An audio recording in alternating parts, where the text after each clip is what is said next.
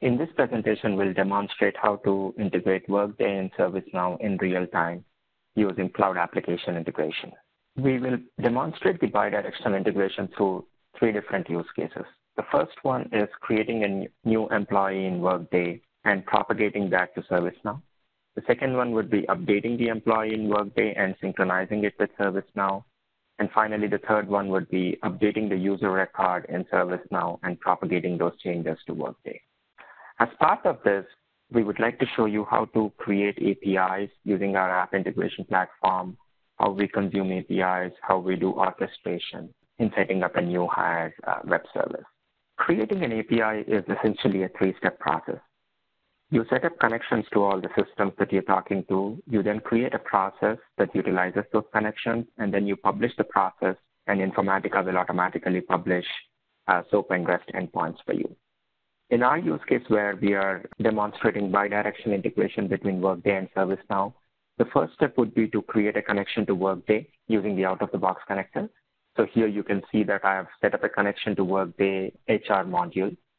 Uh, the second uh, step here in setting up the connections is setting up a connection to ServiceNow using its REST API. And then finally, we would set up a process uh, utilizing those connections. So you can see here, I have a process that accepts new hire requests from Workday. And when I get the request based on the event uh, that triggered, it could be a new hire or it could be an update of an existing employee. I will route it accordingly. In the new hire case, we'll create a new user entry in ServiceNow. In the update case, we'll update that user um, in ServiceNow. Once we have set up the process, we'll go ahead and publish, which is really the final step.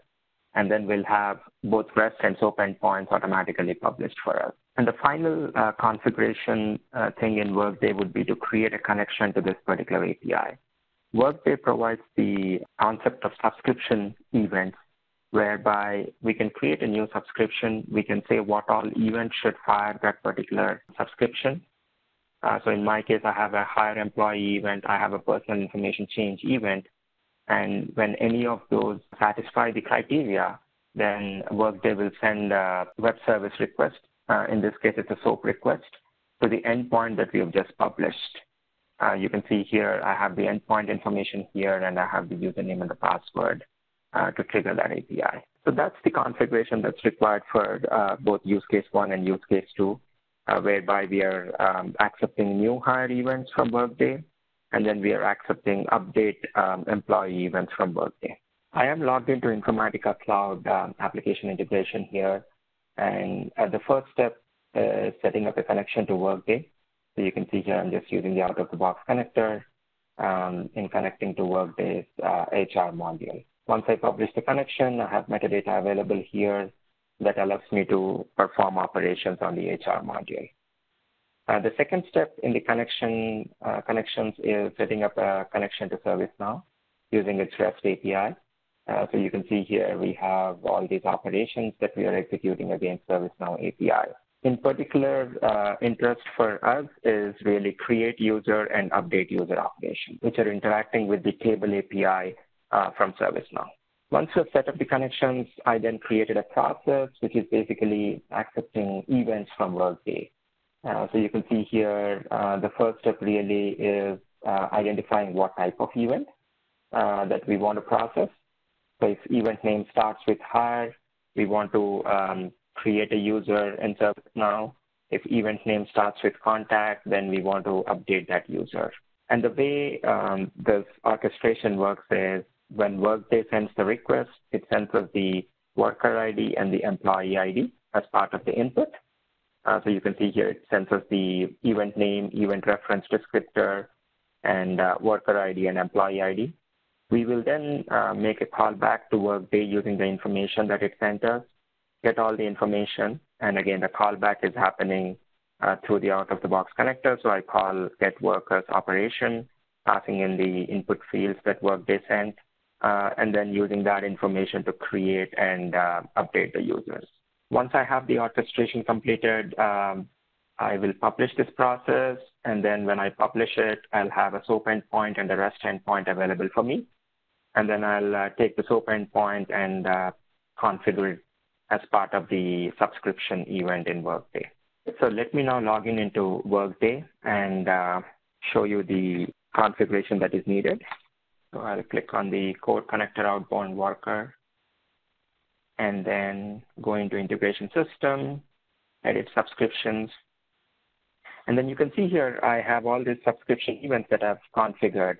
Uh, so whenever there's a new hire event or a personal information change or an employee has been terminated, um, I'm basically telling Workday that it should send a notification to this particular endpoint that we have published on the Informatica side and the credentials that are needed to invoke that particular API.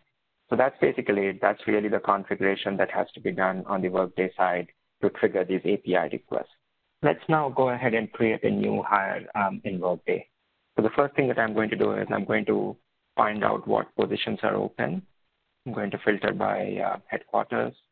And then I have a director position open here. So I'd like to hire for this particular position. I'm going to create a new hire and enter basic information that is needed in order to save this record. And then save this record. And finally, just um, choose the hire date, which would be today, and submit it.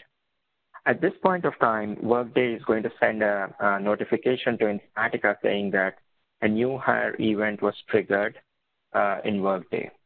So let's go ahead and uh, see what happened in the backend.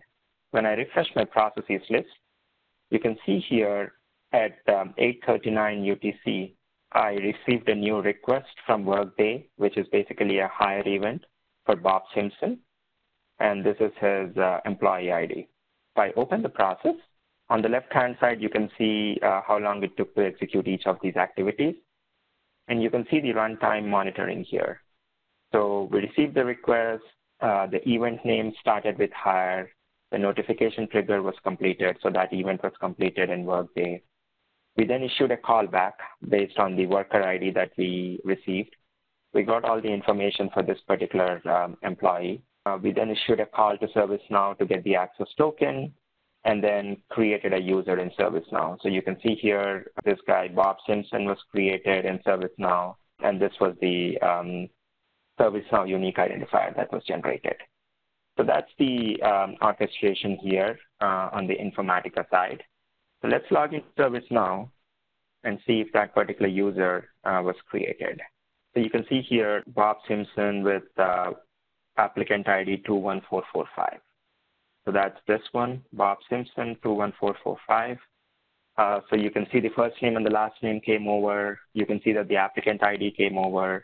You can see that the information also came over. Uh, the transaction origin for this was Workday, and then hire date also uh, came over. At this point of time, we have in real time synchronized an event that happened in Workday in ServiceNow. And we have done it by exposing an API, uh, and we have used Workday's subscription events to trigger that API. All right, so that's really our first use case. So that completes our first use case wherein we created a new employee in Workday and we synchronized it with ServiceNow.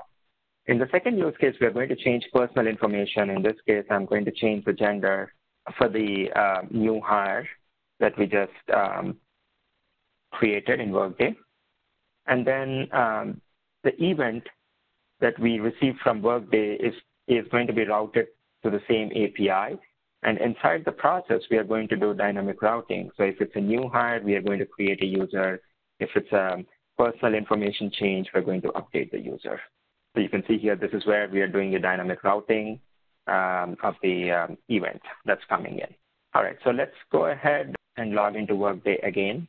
So Bob Simpson is our employee. And I'm going to go to personal section here and edit this information. I'm going to choose the gender, and submit it. At this point of time, Workday is going to send a notification again. So if I go back to my processes in uh, Informatica and refresh my process list, you can see here a personal information change event for Bob Simpson was triggered. And if I open that process, the first thing that we do is we check the event name. The event name starts with personal. The notification trigger is completed. And then we issue a call back to Workday we get all the information, and then uh, we get the system ID for that particular um, applicant ID. So we already know that the applicant ID is 21445. Uh, so we're just issuing a REST call to ServiceNow uh, to retrieve the system ID for that particular applicant. Once we get the system ID, we'll then um, prepare the update request and update the user. Uh, so you can see here the gender is being passed along with the phone number, and the output status is 200. That's the HTTP status code. So if we go back to ServiceNow here and reload this form, you can see that the gender was updated. So in this way, through the same API that we have exposed to Workday, we have done create, we have done update into ServiceNow in real time. So that completes our, um, our second use case. In our third use case, we would like to change this information uh, the user, uh, for the user that we have just created. Uh, we want to change user ID and we want to change his email. And then we want to update the uh, Workday employee record with that information. So we are going to create connections to Workday, which we have already done. And then we're going to create a process which basically updates the Workday user ID and then updates his contact information. So these are two different API calls that are happening because Workday distributes this uh, across different operations. Once we've created the process, then we publish the process. We now have a SOAP API. We have a REST API. In the case of ServiceNow, it's going to invoke a REST API. Uh, so the next thing we're going to see is how to configure ServiceNow to send HTTP requests when uh, certain events happen inside ServiceNow. So the first step is creating an outbound REST message. Um, so you'll go into ServiceNow, create this outbound REST message, uh, put in the endpoint information, put in all the query parameters that ServiceNow uh, would have to send uh, as part of the request. And then you'll create a business rule, which is nothing but a server-side script that will execute uh, based on the conditions that you have set. In my case, I'm saying whenever user ID changes from new user uh, to a different value or email changes, go ahead and uh, send out an event. You would have to pass in the values. So in this case, we've written um, JavaScript code to uh, pass all these values from the uh, sys user table. So I'm getting the sys ID, the user ID, the applicant ID, and the email that I would need to update back to Workday. And that's basically it. Once we have set up this business rule, once we have set up a connection using the outbound REST message, we can test for the condition. And then if everything satisfies the conditions that we have configured, uh, then we'll get a request from ServiceNow. And you can see here that um, we are updating the Workday account uh, with the user ID information, and then we are updating his contact information uh, with the email change that we made in ServiceNow. All right, so let's actually uh, go ahead go ahead and see this um, in action. So I am going to change this user ID. So this is Bob Simpson, and then I'm going to change his email. All right, and then I'm going to update this record. At this point of time, I should receive a call back from ServiceNow. You can see here um, at 8:48, I got a web service request or an event from ServiceNow, uh, and uh, I'm just doing some routing here, checking if the target equals to Workday. If it equals to Workday, then it goes ahead and uh, invokes this particular process, which is updating the Workday user ID. So you can see here the user ID that I passed, Bob Simpson. Uh, and then it's updating the contact information with the uh, email that I just uh, added. And everything was completed successfully. So I can go back into Workday and click on Contact and see that the email address information was added. I can go into the job section here and click on Worker Security and see that the Workday account was created too.